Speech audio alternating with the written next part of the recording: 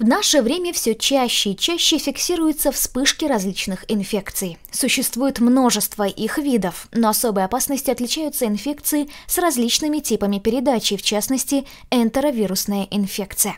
Это группа острых заболеваний желудочно-кишечного тракта, которые могут вызывать возбудители рода энтеровирус.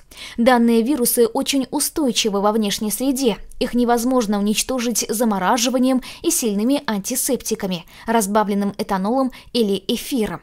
Однако они погибают при термической обработке вследствие непереносимости температуры выше 50 градусов, при высушивании или использовании хлорсодержащих препаратов. Дети по своей природе крайне любопытны и часто могут находиться в местах обитания вируса. Резервуарами возбудителя могут быть почва, водоемы и организм человека. Например, в испражнениях вирусы сохраняются в течение 6 месяцев. Как показывает статистика, около 40% людей являются носителем инфекции. Способы передачи – контактный через предметы быта – воздушно-капельный – присутствие вируса в дыхательной системе, фекально-оральный – при некачественной личной гигиене. Наибольшую активность вирус проявляет в теплое время года – осенний-весенний период. Попав в организм, вирус переходит в лимфатические узлы, где начинает размножаться и распространяться. Коварность данной группы вирусов заключается в том, что клиническая картина бывает крайне неоднозначна.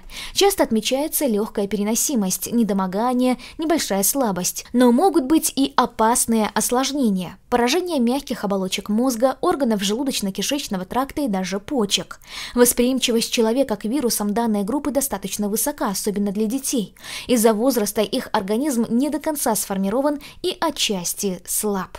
Наиболее опасные патологии – это менингит, поражение оболочек мозга, перикардит, воспаление перикарда, миокардит, воспаление миокарда, острый паралич, гепатит. Наименее серьезные – это лихорадка, возможные кожные высыпания, бессонница, гастроэнтерит, конъюнктивит, ангина.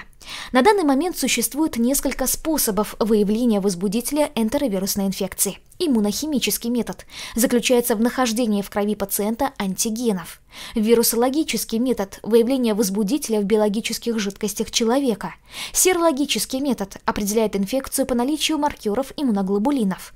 Молекулярно-биологический метод выявления определенных фрагментов РНК вируса. В анализе крови можно увидеть такие изменения, как лейкоцитоз, гиперлейкоцитоз, нейтрофилез, эузинофилия и лимфоцитоз. Показатели зависят от стадии и тяжести заболевания. Четкого лечения данной инфекции нет, оно проводится в домашних условиях при легком протекании. При наличии таких патологий, как поражение сердечно-сосудистой и центральной нервной системы, высокая температура, которая не сбивается даже при использовании жаропонижающих препаратов, ребенка госпитализируют и лечат в лечебно-профилактическом учреждении. В период заболевания ребенок полностью изолируется, не контактирует с окружающим миром. Обязательно должно быть легкое питание с большим содержанием белков. Очень важно пить много жидкости, вода без газа. Препараты для лечения вируса. Интерфероны – противовирусный препарат, нурофен – жаропонижающий, тавигил – антигистаминный, ножпа – спазмолитики.